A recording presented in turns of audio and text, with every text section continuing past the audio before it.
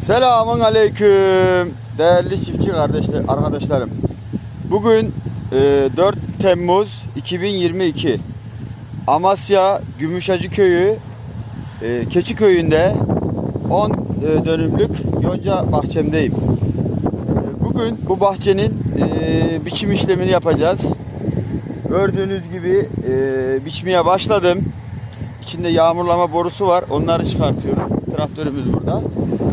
Şimdi bu yoncamızı e, Haziran başında yani Haziran ayının başında bir biçimini yaptık ve balyaya soktuk. Haziran'ın 1-2'si gibi balyaya girdi. E, ve bu yoncaya ben e, ilk sulamayı yaptım yağmurlama sistemiyle. E, ondan sonra bitki 8-10 santim olduğu zaman rekor gübrenin yaprak gübresini kullandım. E, değerli abilerimizin işte yönlendirmesiyle sağ olsun firma yetkililerinin ilgili e, anlatımlarıyla uygun bir şekilde uyguladık. Bugün belirttiğim gibi 4 Temmuz yani hemen hemen 30 günlük bir e, zaman geçmiş ve bu 30 günlük zamanın içinde yoncanın verimini görüyorsunuz. Bakın bu bir yağmurlama tabancası. Uzun e, borulu, kavallı bir yağmurlama tabancası. Tabancasını da hesaplayın, vanasını da hesaplayın. Ve yoncanın boyuna bakın. Tabancadan 10-15 santim daha uzun. Ee, ve güçlü gelmiş. Ee, yani çok e, aslında zamanı da geçmemiş ama yatmaya başlamış. Bak şu anda ben 1.75-1.80 arasında boyum var. Yonca benim göbeğime geliyor arkadaşlar. Ee, genel durumu gördüğünüz gibi gayet yemyeşil. Yani bitkinin olması gerektiği renkte. Bak çiçeklerine görün. Çiçekleri yoncanın gayet bol, zengin. Gördüğünüz gibi gayet sağlıklı. Ee, rekor gübrenin yaprak gübresi gerçekten çok güzel bir çalışma sağlıyor. Ee, bunu buradan bir üretici olarak e, bütün üretici arkadaşlarıma tavsiye ederim. Bak yoncanın zaten alt dallarından en alt dalından en uç dalına kadar yemyeşil. Hiçbir tane e, boy sararma işte şurası çok sarı şurası e, az sarı hiçbir şey yok. Gördüğünüz gibi ben şu anda yoncanın içindeyim. Bakın bu göbeğimi de geçmiş.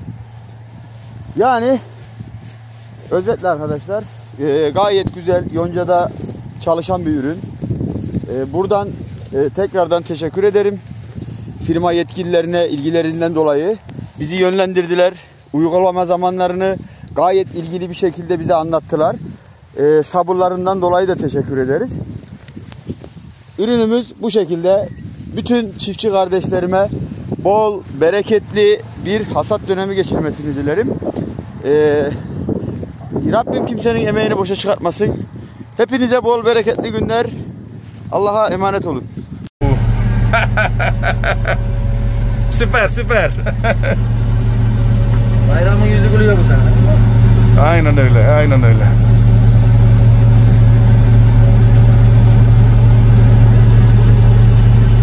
E gülmesin mi abi şimdi bugün e, buğday yılında arpadan rekolte rekoru kırıyorsun. Yani sonuçta sulanmayan diye araziye e, masraf edilmemiş neredeyse daha fazla. Herkesin kullandığı kadar topu topu 20 kilo e, 3-20 tarzında bir gübre kullanılmış haliyle. Evet. Şu an kaptan bu 3 lira gittik diyorsunuz. Daha 15 lira var diyorsunuz. 15-20 lira olur. Ha, Ne demek bu? Şurada bitiyor mu? O zaman ne demek çok. bu? 3 2 çıktı şimdi. Abi sen hesap yaparsan o zaman 5 tane daha çıkacak o zaman diyor. Şey, hadi, hani 850-900 kilo hemen hemen verecek bu. Anladım. Biz az önce yanlış hesap yaptık o zaman. Biz dedik ki 5-6 olacak çıkar. Ama Evet. e, o mütevazi söylemiş kaptan şey sahibi. Ondan sonra maşallah maşallah. Çok sık değil mi kardeş? Çok güzel yani. Çok güzel. İşte rekor gübre yaprak gübresi kardeşlemeyi çok iyi yapıyor. Evet. Zaten onun için. ya. Şeyse yani. İşte sonuç ortada abi. Abi, bizim de Ya bugün bu kadar yani. Bu adam her gün her gün rekolte rekoru kıran bir adam değil yani. 600 dönümde biz ekiyoruz. Evet maşallah. Burası tarlanın kumsal yeri bölgesi. Şurası kumsal. Siyah Evet evet evet. Ya, kısmi olabilir tabii ki ama iki uygulamamış yani. İki uygulasa yanıklık olmaz gene yani. Doğru. Çünkü bu çok güzel yeşillendiren bir gübre, rekor gübre, yaprak gübresi. 10 kilo Şaşırdınız mı? Öyle, öyle vermiş bu yana. Şaşırdınız mı? Kaç kere kaç kilo vermesi lazım öyle bu bura şey yapması için? Normalde 15 kilo atması lazım buraya yine. Yetiyor mu 15? kilo. 15'i 850 kilo alır mısınız? 8 850 kilo. İki sefer atıyoruz. Ha iki kere ha. Bir kere 10 kilo verdi sadece. 10 kilo, 15 kilo ürü atıyoruz. Ondan Evet. sonra 20 kilo da sülfat atıyoruz. İşte Normalde. burada sadece bir kere 10 kilo atıldı yani. Ben kendisini uyardım zaten. Dedim yaprak gübresi boylandırır, e, taşlandırır. Kardeşi de artırır. Onun için fazla gübre vermeyin diye. Gördüğümüz gibi de sağ olsun e, daha da boylansaydı şu an bu, bu, bu boyu 1.40. Bir şey göğsüme geliyor yani. Zaten çektik YouTube'da videosunu. Rekor Gelişim YouTube kanalında görebilirsiniz.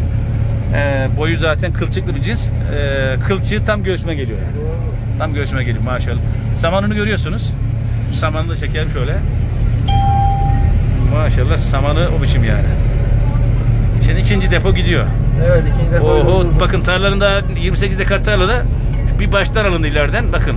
Bir de buradan alındı sadece. Kaptan burada bir şey söyleyeyim mi? 3 depodan daha fazlası var daha burada. Var var burada. 850 Bakın, kilo verecek. bakın daha mi? bak tarlanın ta başında bir alınma var. Evet. Bakın 3 sıra dolandık ya. daha topu topu kaç sıra yer var burada sizce şu anda? 3 sıra dolandık. Daha 15-20 sıra daha var. Oho.